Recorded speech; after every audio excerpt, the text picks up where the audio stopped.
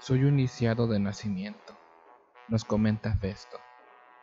En este video veremos el nacimiento e infancia del dios Hefesto. Son varios los testimonios que tenemos, así que veamos.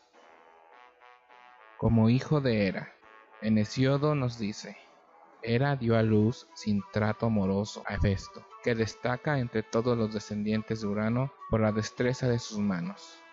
Hesiodo nuevamente nos dice, a causa de esta disputa, la diosa dio a luz, sin que interviniera Zeus que empuña la égida, un hijo ilustre, el hábil Hefesto, que supera en destreza a todos los hijos de Urano. En Apolodoro nos dice, Hera engendró a Hefesto, sin concurso de varón, aunque según Homero lo concibió de Zeus, como hijo de Talos. Pausanias nos comenta, Sinetón escribe en sus versos que Radamantis era hijo de Festo, este de Talo, y Talo hijo de Cres. Las leyendas de los griegos son diferentes en la mayoría de los aspectos, y sobre todo en lo que se refiere a los linajes. A continuación veremos cómo fue la caída de Festo desde el Olimpo. En el himno homérico dedicado a Apolo, Hera habla de la siguiente manera. Oídme todos los dioses y todas las diosas, como Zeus, el que amontona las nubes, comienza a deshonrarme el primero después de que me hizo su diligente esposa. Ahora engendró sin mí a Atenea, la de los ojos de lechuza, que destaca entre todos los dioses bienaventurados, mientras que se quedó lisiado entre todos los dioses, tullido de los pies, mi hijo Hefesto, al que yo misma parí. Enseguida, cogiéndolo con mis manos, lo arrojé al ancho Ponto, pero la hija de Nereo, Tetis, la de Argenteos pies, lo acogió y lo cuidó junto con sus hermanas. En la Iliada de Homero, el mismo Festo nos habla cómo fue esto.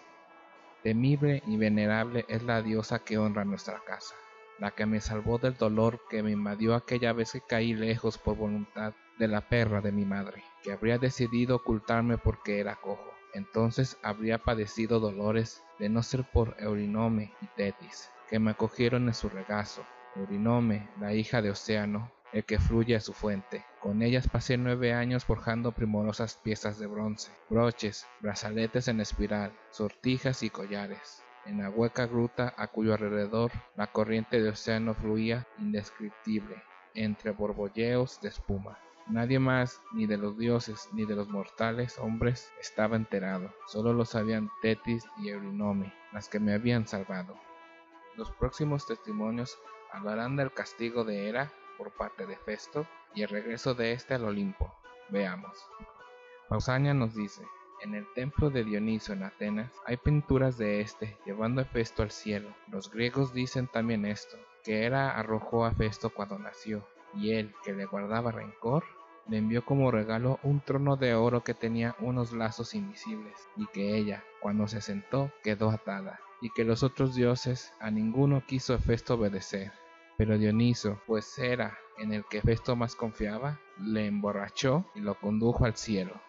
Higino, en sus fábulas nos comenta, Hefesto había fabricado unos tronos de oro y acero para Júpiter y los demás dioses. Cuando Hera se sentó, quedó de repente suspendida en el aire. Se mandó recado a Hefesto para que liberase a su madre, a la que había amarrado, pero, todavía airado por haber sido precipitado desde el cielo, dijo, yo no tengo ninguna madre.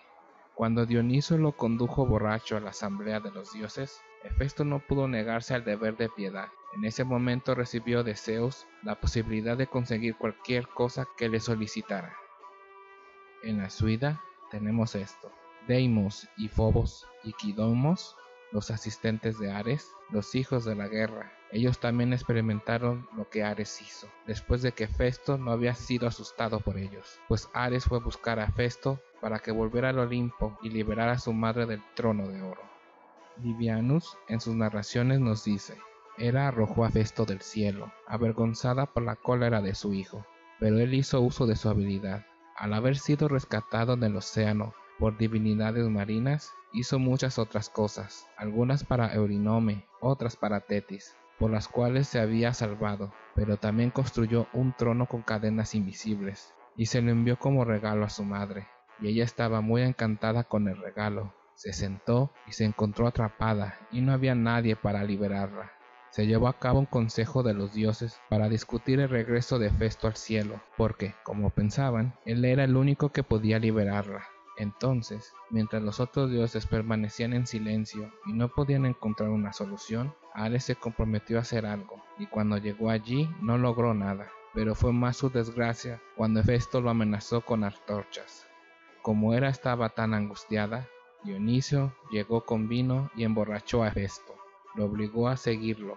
Cuando llegó y liberó a su madre, Dionisio se convirtió en el benefactor de Hera, y ella, recompensándolo, convenció a los dioses celestiales de que Dioniso también debería ser uno de los dioses celestiales.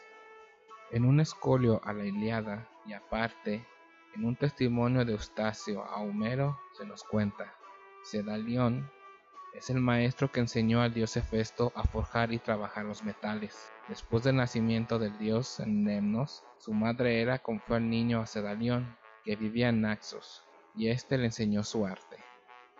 En uno de los jarrones de Francois vemos esto.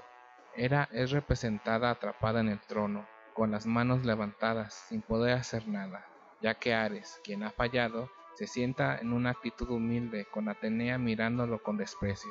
Mientras tanto, Dionisio entra, conduce la mula en la que está sentado Festos, y vemos a Afrodita que espera como premio del matrimonio. El mitógrafo vaticano nos cuenta, como Hefesto estaba deformado, fue rechazado por sus padres, Zeus y Hera, y arrojado a la isla de Lemnos. Fue criado allí por los indianos. Aunque Festo formó rayos para Zeus, no fue admitido en los banquetes de los dioses. De nuevo, con el mitógrafo vaticano, Zeus y Hera querían dar a conocer su divinidad, y produjeron descendientes sin unión sexual. Zeus produjo a Minerva de su barba, y Hera sacó a Festo de su muslo. Hefesto fue deforme, y así fue arrojado desde el cielo. A través de la misericordia de Hades, fue puesto a cargo de los cíclopes, que hacen rayos para Zeus. Sin embargo, se mantuvo cojo. Cuando creció, con el consejo de Hades, hizo una silla de oro para que pudiera reconocer a su madre. Sentada en ella, Hera se echó a reír. De esto, Hefesto supo que ella era su madre.